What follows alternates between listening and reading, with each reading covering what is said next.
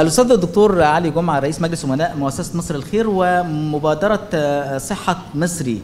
آه، اليوم آه، هذه المبادرة لها الكثير من المحاور نود أن نتحدث عنها. بسم الله الرحمن الرحيم. هذه المبادرة هي عبارة عن تعاون وبروتوكول تعاون بين مؤسسة مصر الخير باعتبارها من المؤسسات الفاعلة في المجتمع الأهلي والمدني وما بين وزارة الصحة باعتبارها هذه ال- آه، الحكومة التي تريد أن ترعى شعبها وأن تقدم الخدمة لشعبها.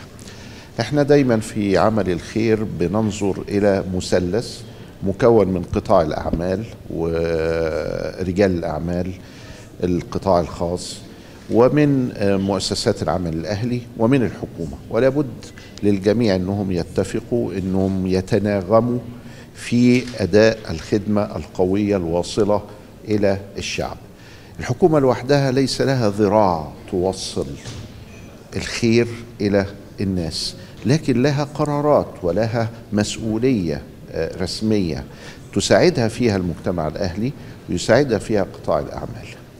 النهارده إحنا عندنا مشروع التأمين الصحي وعاملينه في ثلاث محافظات والمستفيد منه هيبقى في حدود 700 ألف إنسان عايزين نطور التأمين الصحي بحيث إن هو يبقى على مستوى التأمين الصحي في العالم. ال social security والتأمين الاجتماعي اللي منه التأمين الصحي وصل إلى درجة ليس فيها الإنسان إنسان ولكن ليس إنسان إنسان ولكن فيها إنسان آلة. يعني كيف ندخل الآلة في نظام العلاقة دي حتى تطورها وتنميها. مقدم الخدمة خدمة التأمين الصحي بنقوم بتدريبه.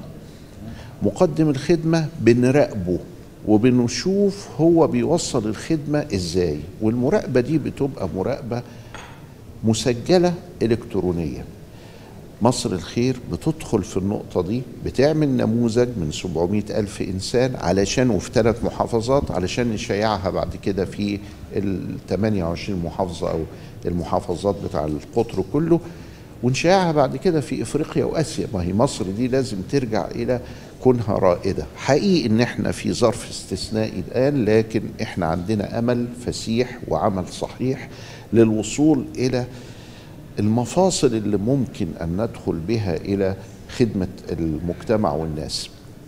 التأمين الصحي يحتاج إلى مقدم خدمة ويحتاج إلى مخدوم وهو الفرد اللي بيتمتع بهذا ويحتاج إلى مراقبة وتقويم وتطوير.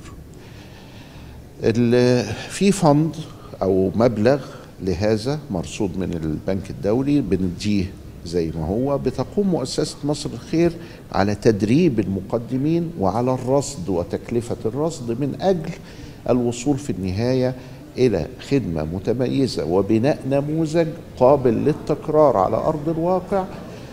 وبنرجو الله سبحانه وتعالى أن ينجحنا كما أنجحنا في السنوات الماضية في كثير من المجالات لأننا نريد الإدارة العلمية ونريد الخطوات المتأنية التي تكون في حدود إمكانياتنا وفي حدود آه، قدراتنا المالية والفنية والعلمية. تمام.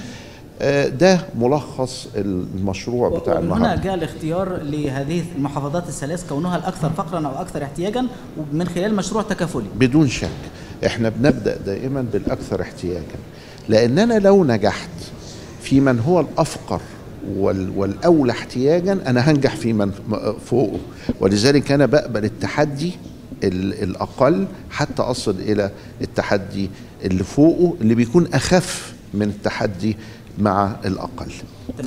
آه، ده هو عبارة عن الإطار العام لما نقدمه النهاردة في التعاون ما بين مؤسسة مصر الخير وما بين وزارة الصحة. آه، معالي الوزيرة عندها رؤية وهذه الرؤية بتساعد كثيرا المجتمع المدني على أداء واجبه. في كثير من الوزراء بيحملوا هم المسؤولية لوحدهم آه، بيحققوا نجاحات لكن مش نجاحات اللي مطلوبة ما بنوصلش إلى عمق المجتمع. لا يمكن الوصول إلى عمق المجتمع إلا من خلال المجتمع الأهلي. هناك الكثير من المحاور لهذه المبادرة منها الاهتمام بتكنولوجيا المعلومات إضافة إلى الاهتمام بالصحة العامة. بنشتغل في صورة دائرية. كله يخدم على بعضه. معلوماتنا في تكنولوجيا المعلومات آه، آه، قدرتنا على تجميع ال- الأموال التي آه، نستعملها بروتوكولاتنا اللي مع العناصر الثلاثة اللي قلنا عليهم الحكومة وقطاع الأعمال والمجتمع الأهلي. استعمال الجمعيات أيضا اللي موجودة على الأرض الواقع إحنا عندنا 45 ألف جمعية لكن العامل منهم كام؟ والمؤثر منهم كام؟ والقادر منهم قد إيه؟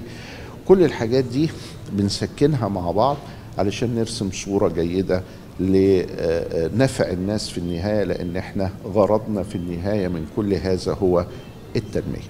المدة الزمنية التي ستطبق فيها هذه المبادرة في ثلاث محافظات مؤكد أنه لكي نتوسع فيها هناك معطيات. متى نقول أنه انتقلنا من نجاح إلى نجاح؟ لمحافظات أخرى. طبعا المتابعة بتتم شبه يومية لكن إحنا بندي فترة سنة علشان ننتقل إلى ما هو أبعد من ذلك وما هو أبعد من ذلك ولكن في متوالية إن شاء الله تكون هندسية. نبدأ بثلاثة. فبعد كده تسعة فبعد كده 18 ونخلص من المحافظات. نعم. الرسالة المباشرة اللي حضرتك بتوجهها بس من خلال مشاركتك أنا شايفة إن العمل دؤوب يعني امبارح والنهاردة مستمرين.